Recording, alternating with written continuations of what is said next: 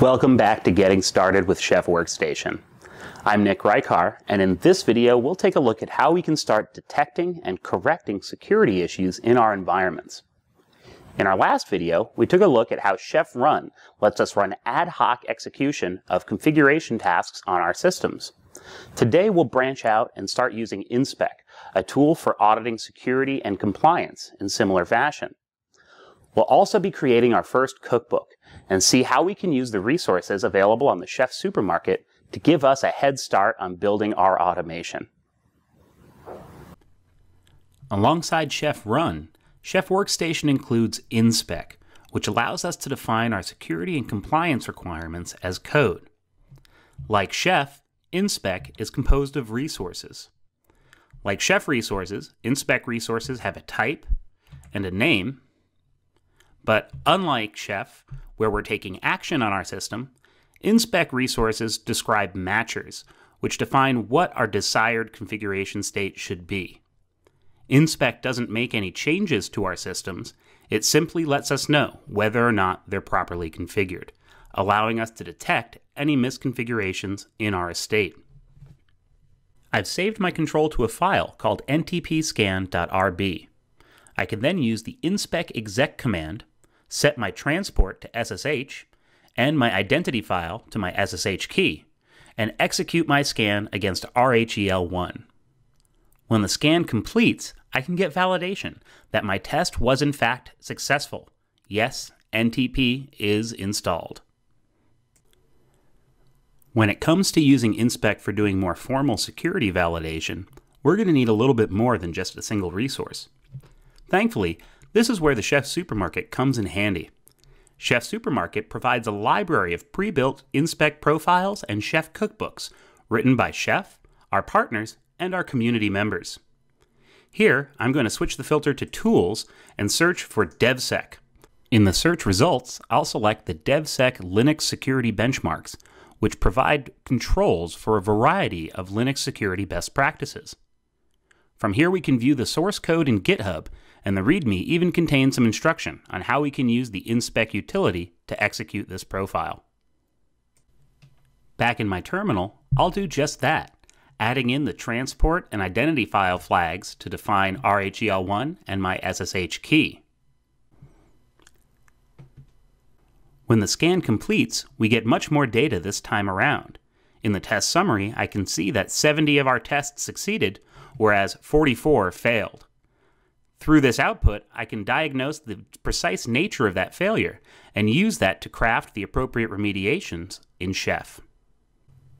To remediate our audit failure, we're going to generate our first Chef cookbook. Chef Cookbook stores Chef code in versionable artifacts that also contain valuable metadata and any helper files needed for execution. To generate a cookbook, we can use the chef command provided in the Chef Workstation package. Chef Generate Cookbook WS Demo will create the WS Demo Cookbook. The dash P flag adds a policy file, which we'll see used later.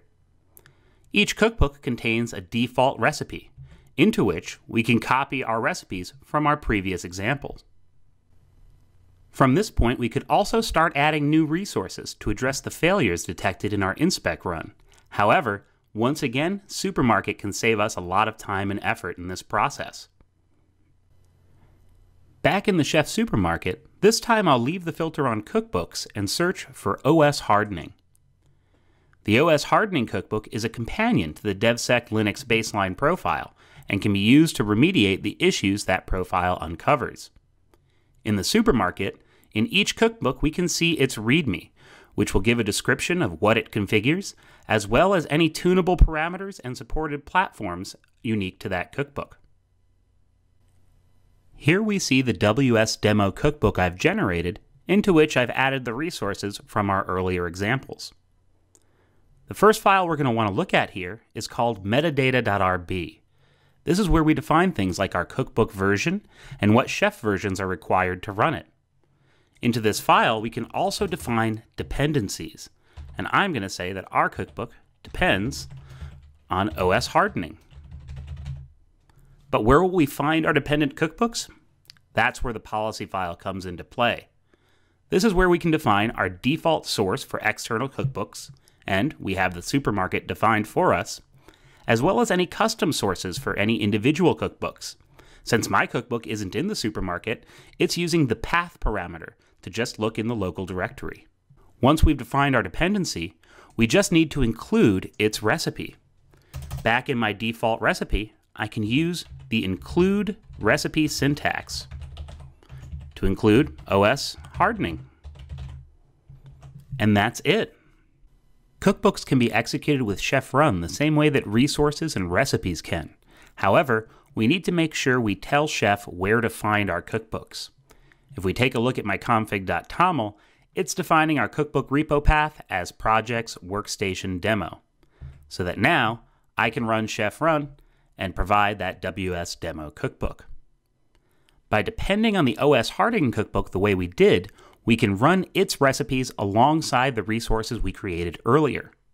This also allows us to override any of those attributes defined in that README, so that if we wanted to alter the behavior of OS hardening, we can do so without actually needing to alter that upstream cookbook.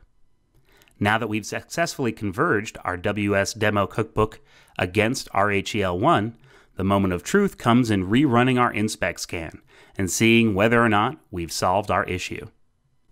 Now let's rerun inspec and see how we did. This time around, we came back with only 8 failures. However, I was expecting 0. We can take a look up through the results to see which controls failed, and our failures all seem to be in inspecting modprobe.d devsec.conf. This is actually a false negative. Because I logged in as my my user user, I don't actually have permission to view that file. However, if I run the command with the dash dash sudo flag, we should now be able to evaluate all the controls and confirm that everything is running smoothly.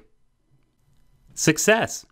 This time we come back with zero control failures, and InSpec has validated that our cookbook actually solved the problem we came here for. We can now move on to automating our next task. That's all for now.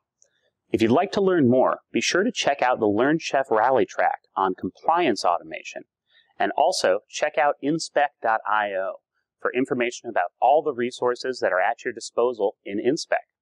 Till next time, take care.